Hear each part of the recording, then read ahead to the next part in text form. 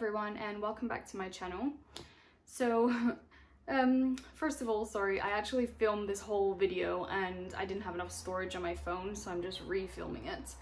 Um, so first I just want to say I'm sorry for taking so long to film this video again but yeah, um, it's just, it's not a positive video honestly and it's been very hard for me to sit down and actually do it.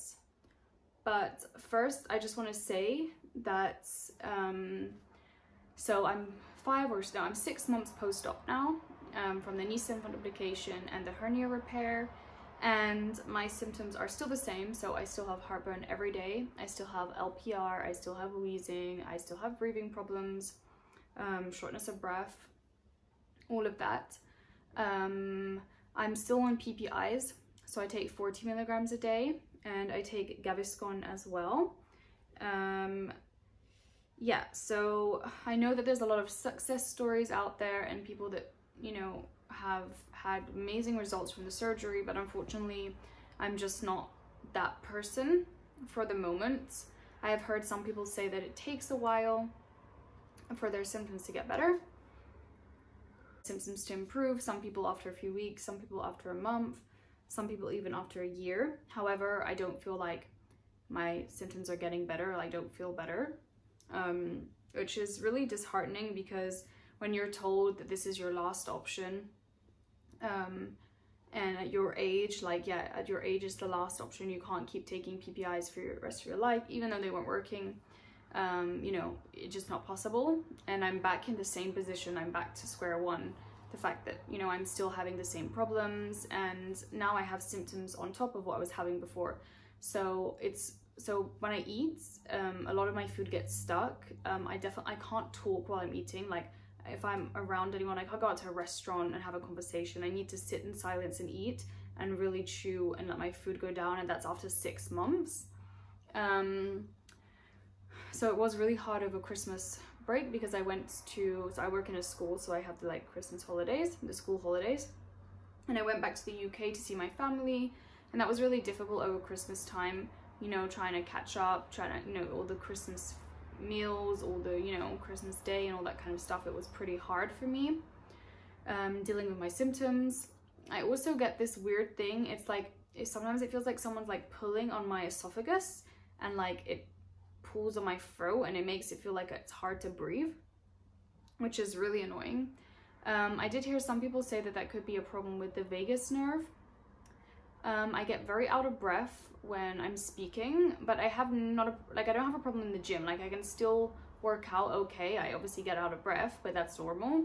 But when I talk and when I do like simple tasks, I get really, really out of breath. Um, I still have no energy. Like my energy levels are zero. I find it very hard to stay awake. I work with children as well, so that makes things very, very difficult for me. Um, I still, so I still take PPI, I take it 20 milligrams a day. I still take Gaviscon. I don't take steroids anymore, like inhalers, but I don't think those were helping anyway.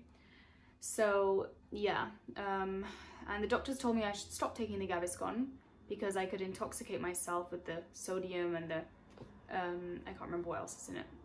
There's another thing in it. But it was them who gave it to me, so, you know, it just doesn't make any sense. And also Gaviscon is the only thing that helps me. Like, if I have really bad symptoms, that's what I'll take. I try to take less now, so I try to like if I get symptoms from eating something that's like neutral, like the pH is a normal level, then I'll just just kind of try to deal with it and let it go down. But if I know I've eaten something that I maybe shouldn't have, I definitely take the Gaviscon because I don't want like the pepsin coming up and causing more damage to my throat. So I just prefer it like that. Um, yeah, so I feel like these last five or six months have been really hard for me because, you know, I really thought that I was going to get my life back and be able to continue to live and just, you know, feel normal and not have to live with this disease. And I know that you guys watching this now are obviously going through the same thing or have a similar problem. And, you know, it sucks. It does. Like, I'm not going to like sugarcoat it, but it sucks. It just it's really hard to deal with, but I feel like we have to stay positive, you know, things could get better. It could just take time. I will be seeing my surgeon next week, so you know, I'm gonna tell him, hey, look, you know, you told me, okay, maybe it will take a little bit longer, just keep taking the PPIs, but I've been taking them for six months. I want them to look, you know, and see if something is wrong. Um, I did have last month, um, I had the, you know, the pH, I can't remember what the name is, the one where they put the tube down just to like your throat, like the level of your throat, and they test like the acid coming back up. Um, I will insert a few, few clips here. Here it is. I have the machine here.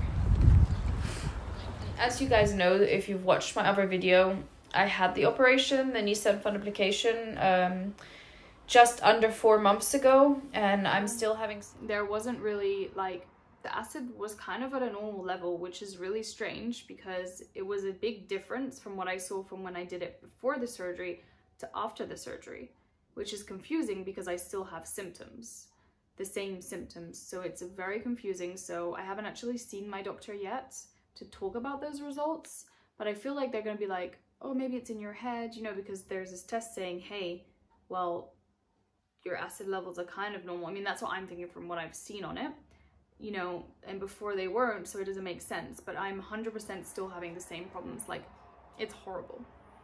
Excuse me, it's it's horrible. Honestly, it's hard to live with. Um, yeah, so I'm sorry this video is not positive and I just wanted to say like, you know, um, would I recommend the surgery? Honestly, no, because, you know, for me, it hasn't worked out, but there are a lot of people that it has worked out for. So it just depends on the person. I guess it's, I don't know what it is, what makes the difference between one person to another person, the success rate of the surgery, because it's a very high success rate. But I have heard a lot of people that it's not worked for. So it's confusing to me. But I will definitely do another video update after I've spoken to my doctor, you know, what he thinks would be best, what he thinks the route is. Maybe there's something wrong if they look again now. You know, maybe I need a redo, even though I really don't want to do a redo because I just started my new job.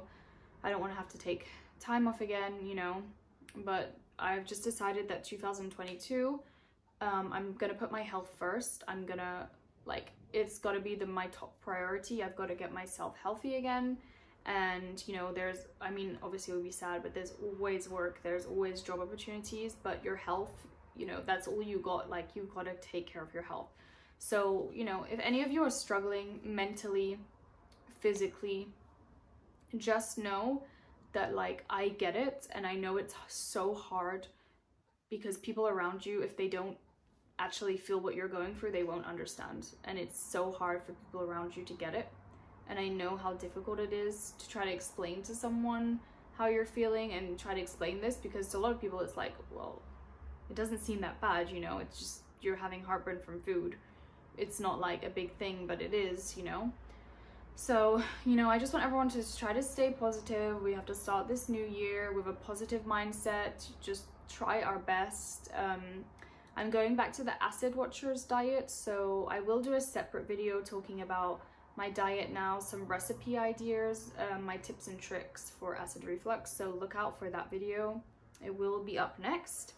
I'm so sorry for rushing this video and maybe talking too fast, but I've already filmed this video twice and I'm going to the gym now. So I need to get ready and then prepare myself for my first day back at work tomorrow um, after the holidays. So it's gonna be an early night and an early start. But yeah, um, if you have any questions or if I've missed anything out, please comment down below. Um, you can send me, yeah, just comment down below. Um, or you can send me a message on my Instagram.